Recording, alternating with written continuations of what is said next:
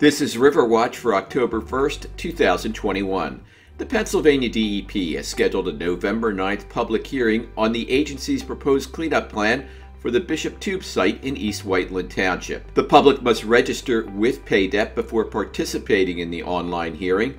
The Delaware Riverkeeper Network is evaluating the proposed cleanup plan and will be sharing information and insights with the interested community to help prepare for the hearing and to participate in the public comment process.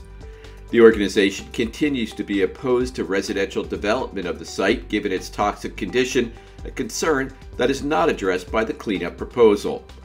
The site drains into the Little Valley Creek, which flows into the Valley Creek, a Delaware River tributary. In the wake of the PennEast pipeline cancellation, environmentalists are calling for more scrutiny of the Federal Energy Regulatory Commission's approval process.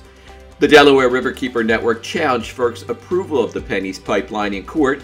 The group says FERC's handling of the Adelphia pipeline project, along with the Gibbstown LNG export terminal, should be reviewed.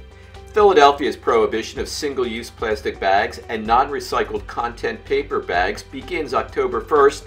The city won't fully enforce the ban until April of next year. Several Delaware River communities and the state of Delaware already have adopted similar bans.